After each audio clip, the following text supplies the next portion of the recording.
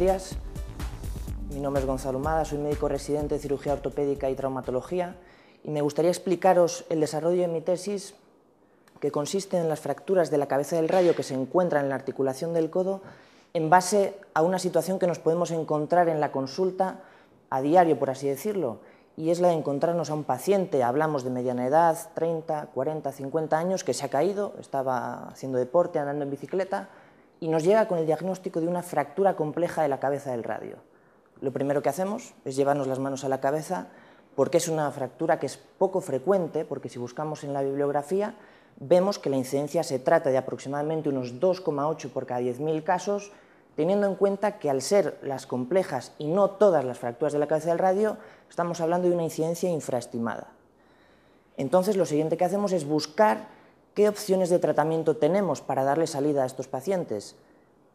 Y lo que vemos es que nos volvemos a llevar de las manos a la cabeza porque tenemos muchas alternativas para su tratamiento y realmente los resultados son, por así decirlo, controvertidos y dispares en la literatura.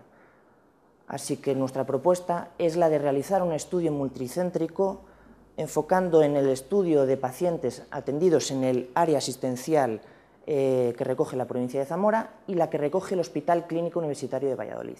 De esta forma, obtendríamos una población de estudio de aproximadamente unos 70 a 100 pacientes en función de los criterios de inclusión y todo ello con un periodo de seguimiento de casi hasta 16 años. Hemos cogido una técnica de las cuales existen para este tipo de tratamiento de las fracturas, que sería la extirpación de la cabeza del radio. ¿Por qué esta técnica? Porque es una de las que más consecuencias negativas producen los pacientes. ¿Eso quiere decir? que de esta forma podremos ajustar cuándo y cómo realizar esta intervención para obtener, por supuesto, los mejores resultados en los pacientes.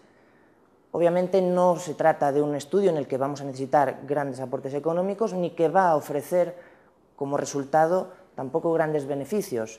Simplemente el hecho de emplear esta técnica en un paciente determinado y evitar que casos como el de la paciente que se encuentra en la imagen de la derecha, la parte inferior, obviamente con su consentimiento para poner la foto, que tenga un arco de movimiento más de 45 grados y que pueda hacer una vida diaria sin dolor y sin que le afecte a sus actividades. Muchas gracias.